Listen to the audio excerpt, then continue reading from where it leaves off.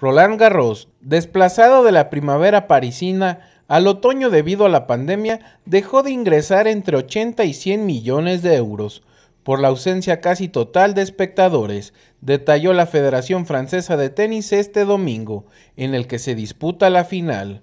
Debido a las restricciones sanitarias, la Federación Francesa de Tenis solo pudo vender un 3% de la cantidad de entradas habituales, lo que significa 750 personas por día en todo el complejo.